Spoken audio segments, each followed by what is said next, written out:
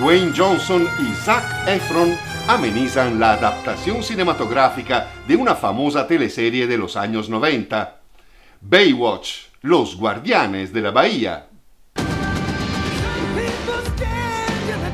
Más allá de los sentimientos de nostalgia que puede inspirar en algunos, Los Guardianes de la Bahía con David Hasselhoff no es exactamente una joya de la pantalla chica.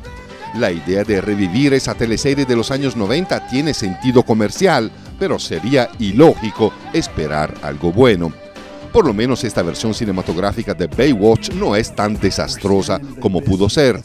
El concepto es muy sencillo, las aventuras de unos salvavidas al mando de un fortachón, Dwayne Johnson, cuyo equipo recibe a un novato, Zac Efron, engreído ex campeón de natación.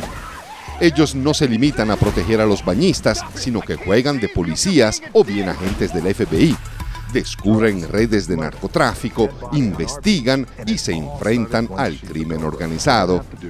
Hay un par de secuencias de rescate de muy buena calidad, pero la acción es escasa dentro de una comedia para adultos con connotaciones ambiguas.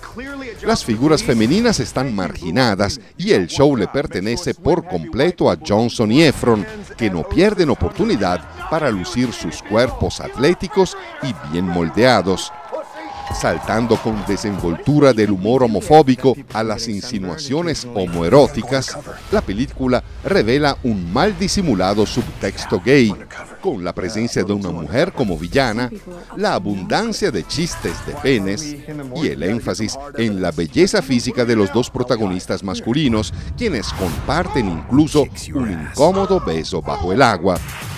La química entre ambos es indiscutible. En todo caso, Baywatch es una producción mediocre. Primero se burla del material pedestre que ofrece la vieja teleserie y luego adopta y explota ese mismo material, como si nada. Calificación 5.